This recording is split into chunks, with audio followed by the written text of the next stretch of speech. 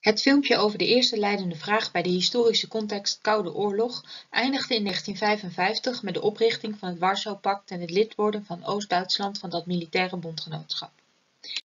Dit filmpje gaat over de tweede leidende vraag van deze historische context en luidt Waardoor liep de Koude Oorlog op kritieke momenten niet uit op een directe militaire confrontatie tussen beide grootmachten in de periode 1955-1963? De kenmerkende aspecten die hierbij horen zijn de rol van moderne propaganda en communicatiemiddelen en vormen van massaorganisatie, het in de praktijk brengen van totalitaire ideologieën, communisme en fascisme, nationaalsocialisme, de verdeling van de wereld in twee ideologische blokken in de greep van een wapenwetloop en de daaruit voortvloeiende dreiging van een atoomoorlog. Voor we verder inhoudelijk ingaan op de leidende vraag is het handig om even te weten welke leiders de beide machtsblokken hadden. In de VS zien we dat Truman met zijn politiek van containment in 1953 vervangen wordt door president Eisenhower. Eisenhower wil eigenlijk een politiek die gekenmerkt zou moeten worden door rollback, het actief terugdringen van het communisme, maar tijdens zijn ambtstermijn vindt daar door gebrek aan geld voor die acties eigenlijk vooral stabilisatie plaats. Als Kennedy acht jaar later aan de macht komt, gaat hij wel een krachtigere buitenlandse politiek voeren ten opzichte van het Oostblok en we zullen zien dat dat tot conflicten leidde in de periode dat hij aan de macht was. Ook in de Sovjet-Unie had een machtswisseling plaatsgevonden, want Stalin overleed in 1953 aan een hersenbloeding en werd opgevolgd door Nikita Khrushchev. Stalins buitenlandse politiek was er vooral op gericht geweest zo goed mogelijk te kunnen concurreren met het Westblok op onder andere economisch en militair gebied. Khrushchev voerde een politiek van vreedzame coexistentie, die voortkwam uit het idee dat volgens hem beide blokken vreedzaam naast elkaar zouden kunnen leven, ondanks hun tegengestelde ideeën over veel zaken. Een soort laten we het eens zijn dat we het oneens zijn dus. Na toetreding van respectievelijk West- en Oost-Duitsland tot de NAVO en het Warschau-pact stabiliseerde de machtsverhouding tussen de beide blokken zich steeds verder. Dat uitte zich er vooral in dat beide blokken zich vooral bij hun eigen invloedssfeer hielden en zich niet bemoeiden met het andere machtsblok. Bij de Amerikanen kwam die houding vooral voort uit een gebrek aan steun onder de Amerikaanse samenleving voor een actievere politiek ten opzichte van het Oostblok. Ze waren niet bereid daar geld voor uit te geven en hielden zich dus bij hun eigen invloedssfeer. Ondertussen pleitte Khrushchev, zoals we net al gezien hebben, voor vreedzame coexistentie, wat neerkwam op een vriendelijke rivaliteit tussen beide blokken zonder oorlog te gaan voeren.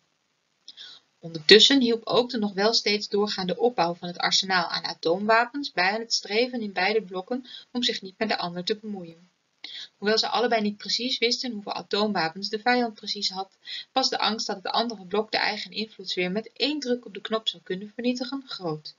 Dat zorgde ervoor dat uiteindelijk niemand atoomwapens durfde te gebruiken uit vrees dat de andere het dan ook zou doen en er dus een situatie in politiek van wederzijdse afschrikking ontstond.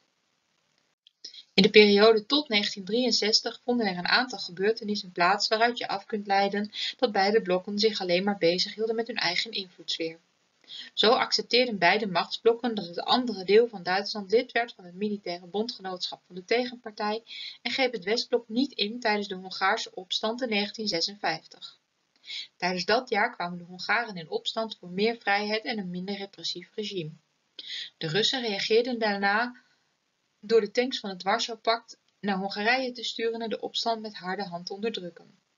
Hoewel dit lijnrecht inging tegen de westerse ideeën over de samenleving en er in het Westen ook veel verontwaardiging was over de Russische reactie op de Hongaarse opstand, grepen zij uiteindelijk niet in en hielden zij zich bij hun eigen invloedssfeer. Ondanks deze voorbeelden kwam het in deze periode echter toch tot grote confrontaties. Een van de grote problemen van de regeling in Duitsland was dat Oost-Duitsers via de westerse zone in Berlijn gemakkelijk naar het westen konden gaan en dan meestal niet meer terug wilden komen in het Oostblok. Er was dus sprake van een massale emigratie vanuit de DDR, waarbij juist het hoogopgeleide en dus waardevolle deel van de bevolking de Oosterse invloedssfeer ontvluchtte. De oplossing voor deze leegloop vonden de Russen uiteindelijk in de bouw van de Berlijnse muur. Deze muur voorkwam dat mensen uit Oost-Berlijn naar West-Berlijn konden gaan en er werd streng gereageerd op mensen die dat toch probeerden. De bouw van de muur zorgde voor een dreigende sfeer onderling, omdat West-Berlijn nu totaal geïsoleerd als een soort westers eilandje in het Oostblok lag omdat de Amerikanen niet bereid waren om deze kwestie op een confrontatie uit te laten lopen, escaleerde de situatie uiteindelijk echter niet fysiek. Die fysieke escalatie was nog veel dichterbij in de tijd van een andere gebeurtenis in de tijdsperiode die bij deze leidende vraag hoort, de Cuba-crisis. Op Cuba was sinds 1959 een communistisch regime. Fidel Castro was er president geworden en hij maakte Cuba onafhankelijk van de VS en zocht nadrukkelijk toenadering tot de Sovjet-Unie omdat Cuba erg dicht bij Amerika ligt, hadden de Amerikanen nu het gevoel dat er een communistische vijand in hun achtertuin lag. En daarom steunde president Kennedy in 1961 een coup of machtsgreep van Cubaanse emigranten die van de communistische president Castro afwilden. Deze machtsgreep mislukte en de inmenging van de Amerikanen zette de onderlinge verhoudingen juist nog verder op scherp. In 1962 kwam het vervolgens tot een grote confrontatie confrontatie omdat de Sovjet-Unie met toestemming van Cuba kernraketten wilde plaatsen op het eiland. De Amerikanen zagen zich nu geconfronteerd met kernraketten op korte afstand van hun eigen land. Kennedy reageerde hierop met een grote marineblokkade waarmee hij de schepen waarmee de kernraketten op weg waren naar Cuba tegen wilde houden. Hiermee haalde hij zich echter de woede van de Sovjet-Unie op de hals en een paar dagen lang hield de hele wereld zijn adem in omdat de vrees was dat een van beide of beide landen daadwerkelijk atoomwapens zouden gaan gebruiken. Uiteindelijk gebeurde dit niet omdat Khrushchev inbond en de schepen met de kernraketten weer terug liet varen naar de Sovjet-Unie.